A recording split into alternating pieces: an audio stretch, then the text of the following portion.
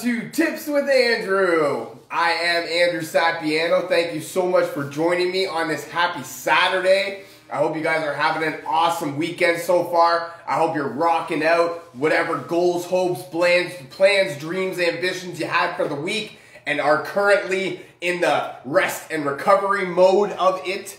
And um, I hope you guys are rocking out and having an awesome weekend so far. Um, quick update, couple quick updates actually before we get started. This, until the end of the month, actually, doTERRA has come out with a, a special surprise BOGO deal. So buy spearmint and you get citronella oil for free. Sorry, spearmint oil. And you get citronella oil for free. Um, spearmint is great for uplifting the mood. It's, um, you know, it's also actually used as, um, uh, to uh, freshen the breath, which is great. Citronella is awesome for this time of year, especially keeping the bugs away and helping in that regard. It's also a natural cleansing agent. Um, so I believe it wholesales for about $48 plus tax and shipping. So if you're interested in that, definitely drop me a comment, send me a message. Um, what, uh, June 10th, doTERRA Canada is actually doing a presentation about essential oils and sort of why you should be interested and how you can uh, use or what, what can you do? You can uh, reduce your toxic load in your life and um, I'm super excited for that coming up. It's $10 um, for entry fee. It's going to be an online um, uh, what is it, uh, webinar, I guess we'll call it broadcast if you want to call it. So definitely, um, uh, now's the time to sign up. You actually get four free samples of oils uh, if you sign up. So definitely, um, I've already got my ticket on its way and I'm super excited for it. Another update, convention tickets have officially gone on sale. And that is in September. Um, if if you are interested in going to the event, there is live tickets available. Um, it's going to be held in Utah at the Utah Jazz Stadium. Uh, it is also going to be available virtually online, and that is where I am excited to um, partake in. You also get the, there's also the swag box that comes out. That's super exciting. I'm awesome. I'm, I'm so excited for that. So if you're interested in early bird access to convention tickets, they will eventually go up in price. So now is the time to get that. Definitely reach out to me and we'll get you on that. Last update, I have officially launched a weight loss course for beginners. I discover five little known secrets to losing weight. If you or somebody you know of is interested in getting access to it, it is an online digital course for download. Definitely drop me a comment, send me a message saying me, and we'll get you rocking and rolling. There's tons of cool stuff that comes along with the initial launch, and I'm and it's I'm super excited to get it out there into the universe. All right, that's all we've got for you for the updates. Tons of cool stuff going on over here. Oh, I'm super excited. What a great time to be alive right now. Um, and it's the weekend. So, what? Let's get into today's topic. What I wanted to talk a little bit about today was it is actually National what reading or map reading week or read a map week. Learn how to read a map, something like that. So I thought, what perfect time to talk about having direction in your life, right?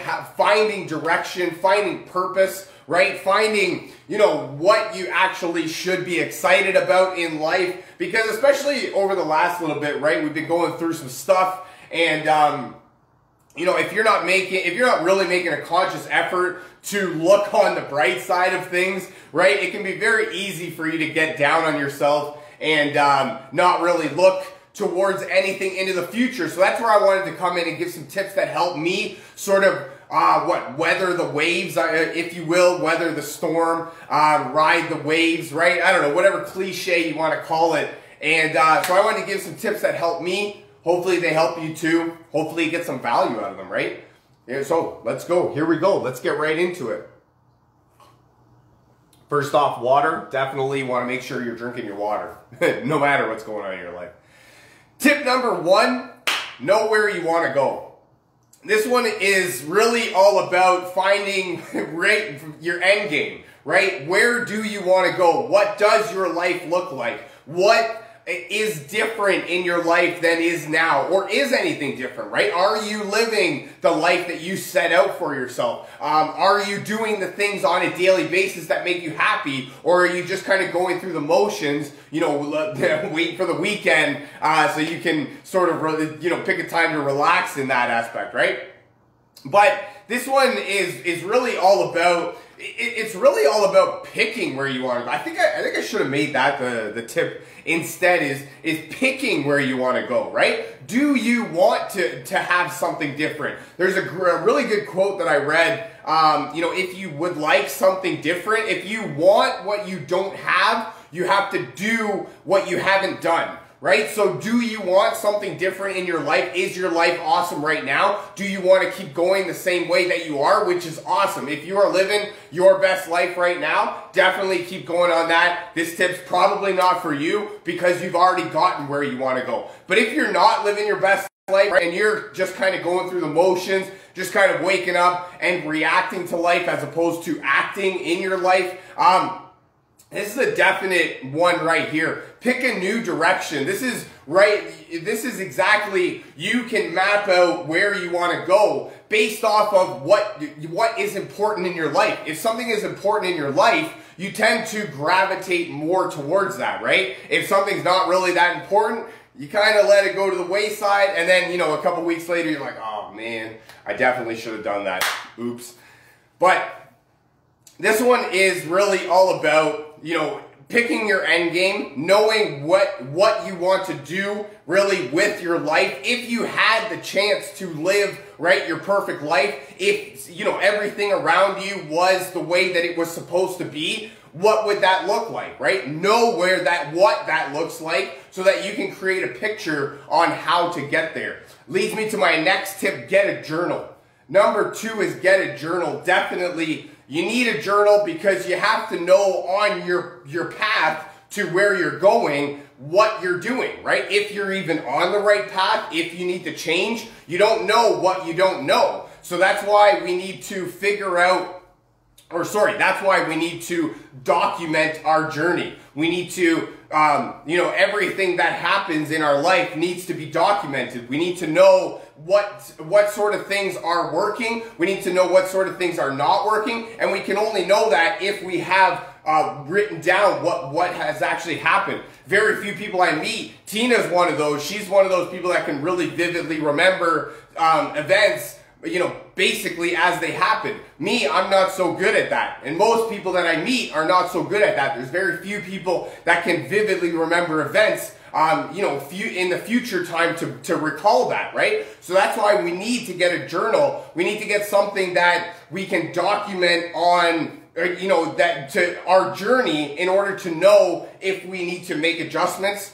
to, um, uh, to, you know, to change what we're doing, or if we need to just stay the course, right? We don't, again, I reiterate, we don't know what we don't know, so we could be doing something really good, but not know it, and then we make a tweak to it, and that throws us completely off course, but we didn't know that because we didn't document it. I'm not talking, um, if you're going to write down in a journal on paper, I definitely suggest something that you can take with you. For me, I love using something pocket sized that I can just take with me uh, on the go so I can write down events as they happen. Um, for you, that may not be something that is applicable. Like I mentioned, Tina's got a great memory, so maybe she picks something that she can go back on throughout the day at home, right? She's got this cute binder at home that she uses, I don't know. Um, and then that just allows her to, uh, you know, document the day's events. Um, it doesn't necessarily have to be on paper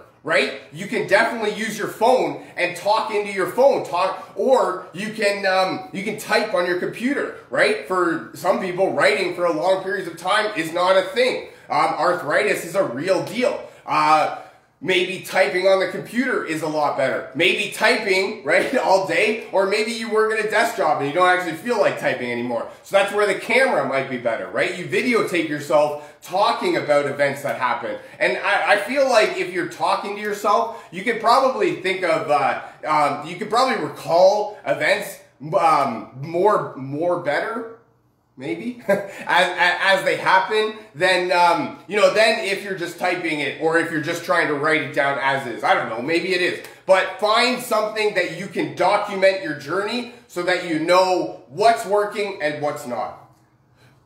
Number three face your fears.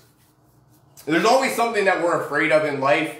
Um, and you know it's not there's i, I like learning I, I like the way that i learned about this one is that there's uh, two real there. I don't. I can't really remember how it was specifically explained to me, but the gist of it is there's things that we are actually afraid of, right? Bears getting hit by a truck, um, you know, uh, getting, you know, uh, something happening to our children, right? And then there's things that we that are there's perceived fears, right? How people look at us, uh, how people think of us, how we think that we might be portrayed, um, you know, what people might say about us, right? So there's things in life that we actually need to be afraid of, and then there's things that we are perceived to be afraid of. And there, there and those perceived fears are a lot worse than the actual fears because the actual fears you know and you can pretty much uh, take into consideration and work your life around them. But the perceived fears are the one that hold you back and hold you and, and really uh, not allow you to live the life that you may that you maybe want to. I mean, like I mentioned before, maybe you're already living your best life and there's nothing that you would change, and that's awesome. For that, I applaud you, and you are great. But for the rest of us that don't really have too much idea about what's going on, um, you know, we're just kind of going through the motions on a daily basis we are afraid of, you know, and it could be afraid of fear of failure, right? What, what, you know, what, what are people going to think about us, right? Again, fear of what are people going to think about us? Fear of we're not good enough, right? A fear of success. What happens if we do succeed, right? What does success look like? That's another thing too, right there. That's kind of like a side tip off of facing your fears is know what success looks like. If you don't know what success looks like, then you don't have any real way of determining whether you've made it, right? We don't, if, if you don't have an idea of what it looks like when you're there, how do you know if you've got there, right? Or you've been there and you may have left. You don't know because you don't know. That's why we need to face face our fears. We need to just I, feel like we need to just do it, right? Like another quote that I love, um, you know, is something along the lines of life is going to pass you by um, no matter what. So we can either live it or we can be, you know, a, a slave to it, right? So that's where I, I like to, you know, for me, it's not really a big problem to, you know, really not, for a lack of a better term, care about what people think uh, and just do what I know needs to be done. But for other people, that's a huge thing, right? P- people people can be downright mean. I, like I'll be the first to say it. People can be rude and they can really say, you know, things that you don't really think that should be said. And that's, you know, that that's a problem for another day. But again, that's just a perceived fear. For as many people as you think are laughing at you or not supporting you, I promise you there's that many people that are looking that don't say anything to you. Because I am, one of the things that I read was uh, people that, that don't like you or don't like something tell about 21 people. People that are impressed with something tell about three right? So it, it's seven times more likely that you're going to hear something negative than you are something positive. So I, I, promise you, there's a lot of people out there that are rooting for you and want to see you do good, and they're just not there talking to you. It's not a thing that's going to come up in a conversation. But people that can, you know, point at you and laugh and really, you know, look at the, the goofy side of things, they, you know, they're in it for a different reason, and there's nothing really you can do about that. One of the things that I that I that I re- that I remember reading more than anything or hearing is, uh, you know, there's really only nine real nasty people in the world, right? Real mean, real nasty. Now they move around a lot, right? So you're liable to get one every once in a while.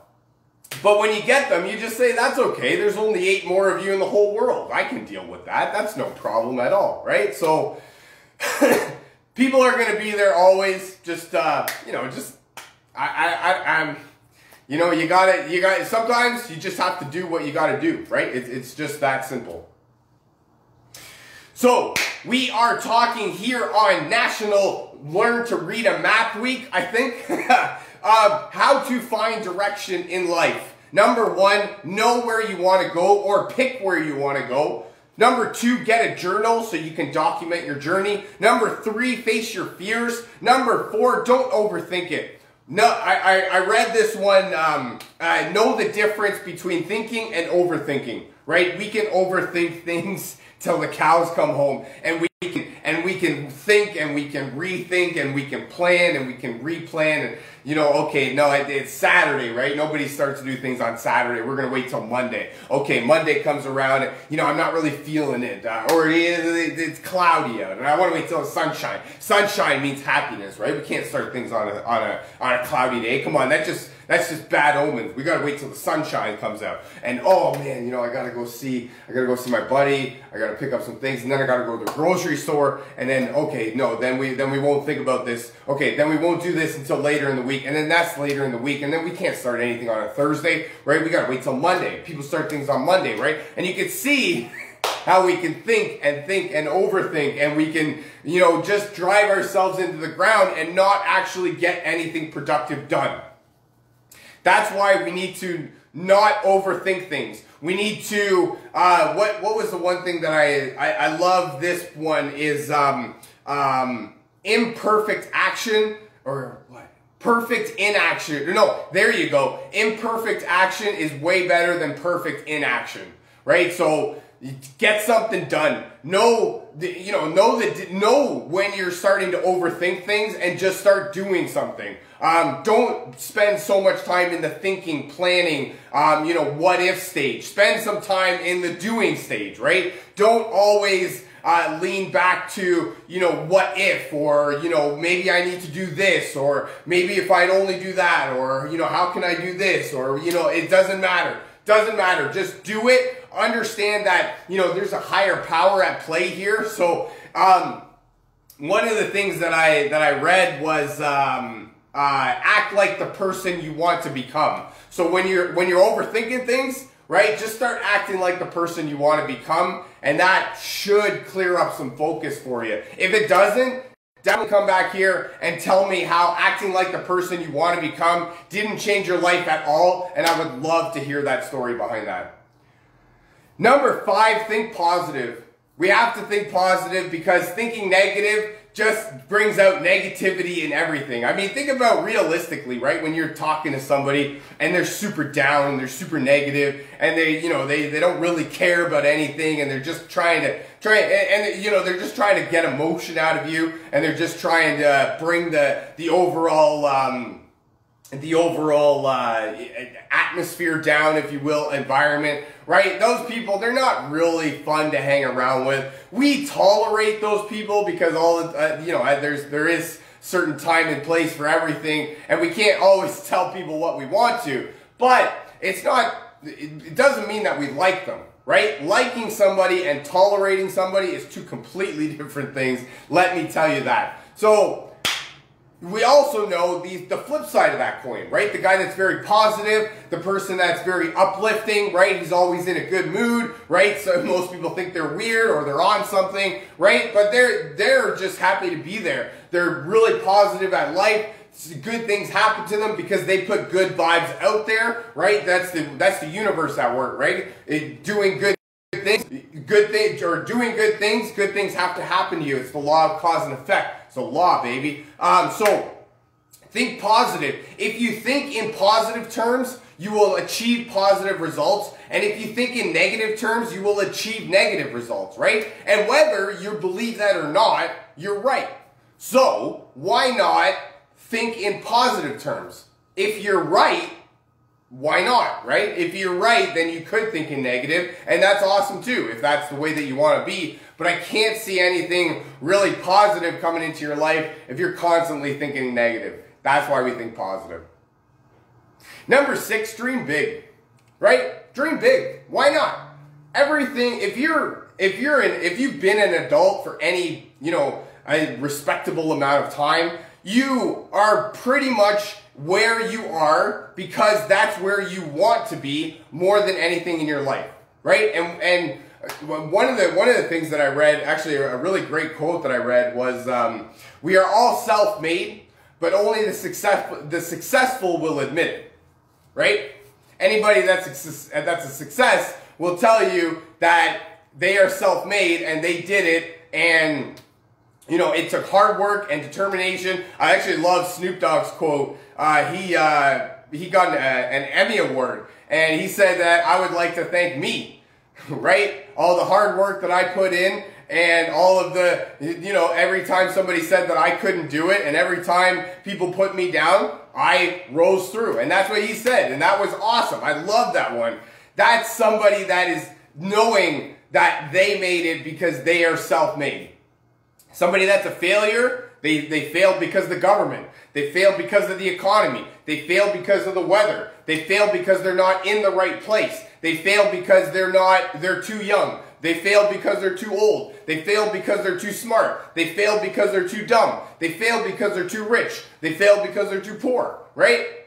Everything, everything happened to them. That's why they couldn't become a success.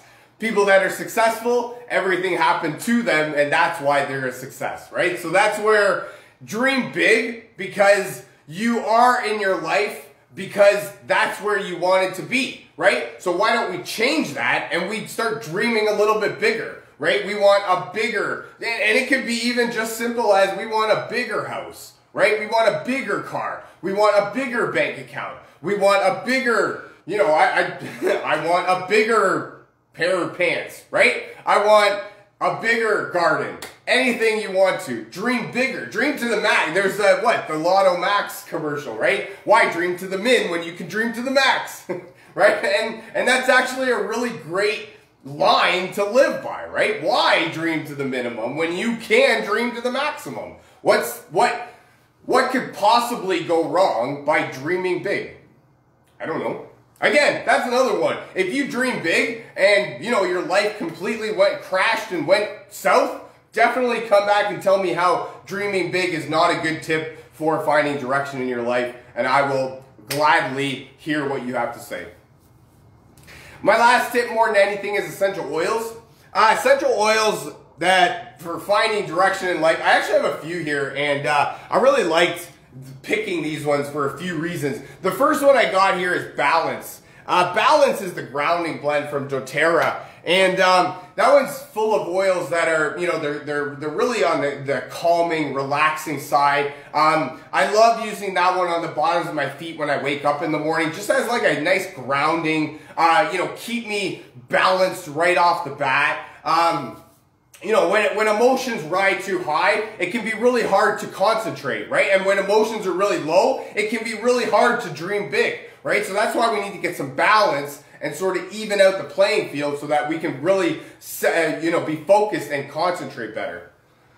Another oil that I have here is frankincense. And frankincense, I mean, outside of being the king of oils, uh, it's basically good for everything. So, I mean, one of the ones that I like using this one is it's really great for calming and and and bringing you uh, you know at peace with yourself and and and sort of with the earth right if you follow me for a little bit um, finding direction in life really requires you know a certain you know extra that extra gear that we need to find right an extra sort of uh, you know, a, a, step outside of our comfort zone, if you will. And frankincense is really great for helping you control those emotions and uh, focus your energy in a specific way. And then my last oil here is tangerine. And I put this one in here because that's actually my favorite oil. And I mean, when we're finding direction in our life, when we're trying to change things for the better, when we're trying to look at things a different way, we need to be happy right? Am I wrong? I don't know. Maybe I'm wrong. But for me, I like to be happy. Tangerine makes me happy. It's one of my favorite oils and I love it. That's why I put it in here. It find the, basically what I'm trying to say is find the oil that makes you happy and use that one to your advantage. That's all I got for you for today, folks. I really hope you enjoyed this. I know I had some fun making it. Feel free to share this with your friends, a family member, perhaps somebody from your team that you feel needs to hear this. If you'd like to learn more about essential oils or how to get your hands on some of this cool stuff that I'm talking about, definitely drop me a comment, send me a message saying me, and we'll get you rocking and rolling. Thank you so much for joining me. I really hope you guys have a fantastic rest of your weekend, and I look very forward to talking to you again. I love you guys. Bye for now.